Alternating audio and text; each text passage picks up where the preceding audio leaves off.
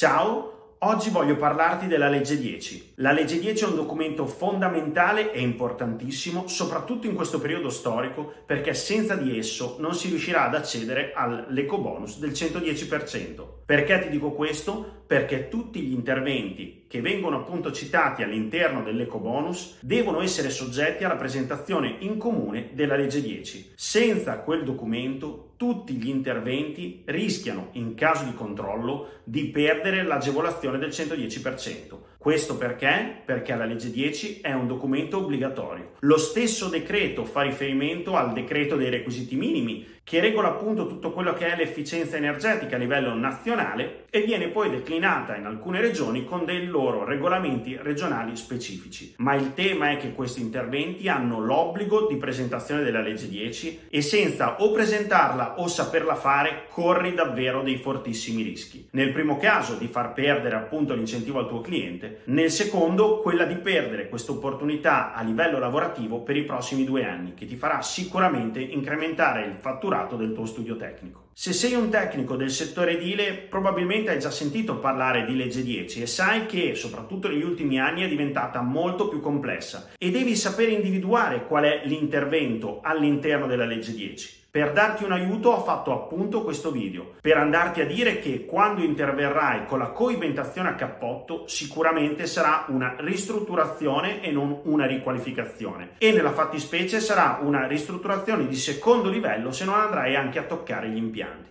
Perché dico che sicuramente sarà una ristrutturazione di secondo livello? Perché il decreto prevede che per accedere all'ecobonus tu debba intervenire su una superficie disperdente lorda maggiore del 25%. Quindi, oltre a saper calcolare quant'è la superficie disperdente lorda, sicuramente andrai ad agire su più del 25% di quella superficie e quindi cadrai sicuramente in una ristrutturazione importante di secondo livello. Quindi bisogna che ti stampi bene in mente questa equazione. Ecobonus con coibentazione a cappotto uguale ristrutturazione importante di secondo livello. Mi raccomando, è fondamentale che tu vai a selezionare questo tipo di intervento quando vai a redigere una legge 10. E se tocchi anche l'impianto, beh, se tocchi anche l'impianto e il cappotto coinvolge più del 50% della superficie lorda disperdente, allora in quel caso il tuo intervento sarà una ristrutturazione importante di primo livello. E se invece tocchi solo il generatore di calore, beh, in questo caso, oltre a consigliarti di calcolare bene che venga effettivamente fatto il salto di due classi, sei nel caso di una riqualificazione perché non vai a toccare nessun tipo di superficie disperdente del tuo involucro edile. So che questi argomenti possono essere ostici,